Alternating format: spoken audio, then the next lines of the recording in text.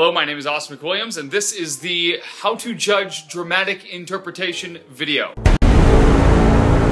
Now, if you haven't gotten the opportunity to actually go and watch the old video, the general instructions video, I was just going and watching that right now. If not, we will move on in dramatic interpretation. First, we just have the simple general disclaimer. Dramatic interpretation is a lot of different things to a lot of different people. It can be about really any different subject with one or multiple characters. What I'm about to tell you is only the simple opinion of those at 3P Speech and the general modern views of the National Forensics League, most indicated by what finals at the national tournament. And with that, let's get started. Today we're going to explore three different categories to help you choose a dramatic interpretation between the 1 and the 6. Those three categories are realism, story, and connection. First of all, and most importantly, dramatic interpretation comes down to realism. This is truly the true acting event. While this element will be in other interpretation events, many will have fantastical characters and cheap laughs. Dramatic interpretation seeks to create a real, dramatic environment, while the performers literally become the characters they hope to portray. Stereotypical topics tend to be biographies and personal memoirs, surrounding mostly one character. Some of my personal favorite performances in years past have been Judy Garland in 2009. You know, once I had a fan ask me, if all the munchkins in The Wizard of Oz were really all drunks. The wife of an unnamed president in 2010. Well, did you know that, that the first time I met my husband, we were both working as volunteers for a local political campaign.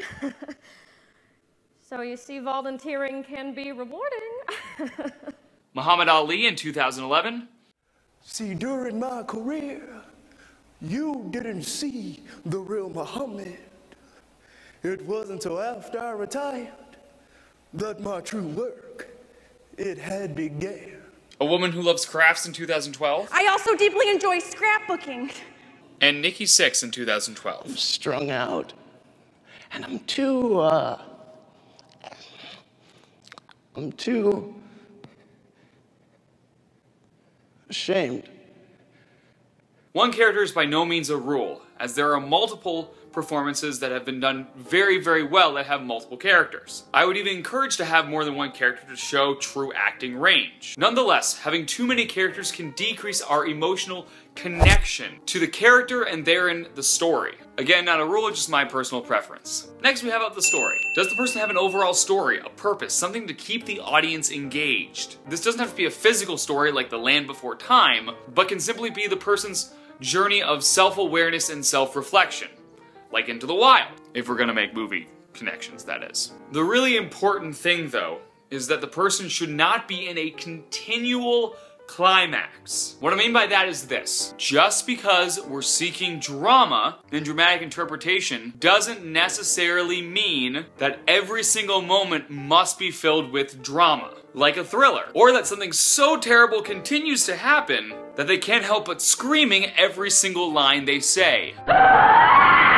Every single line it gets old really fast. Rather, like in all good stories, there should be a continual progression to a certain point, what we call a climax. Lastly, we talk about the connection. Drama, more than anything else, has the ability to connect an audience with a performer and tug on the audience's heartstrings. So while we clearly want to look for this, we also have a warning here too. Just because something is sad doesn't necessarily make it a good dramatic interpretation. For example, we could have a story about a woman with an abusive husband who gets hooked on drugs, who gets pregnant, gets cancer, has her best friend get killed in a car accident, she loses her baby trying to give birth to it in the backseat of a car, and then either commits suicide or finds Jesus.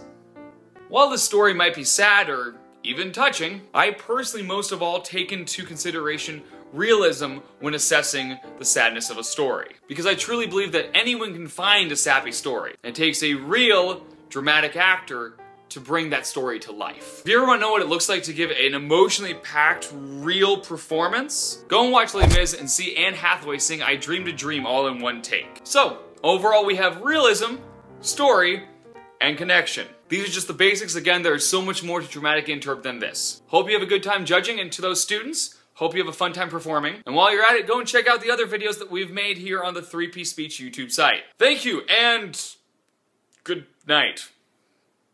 That was weird.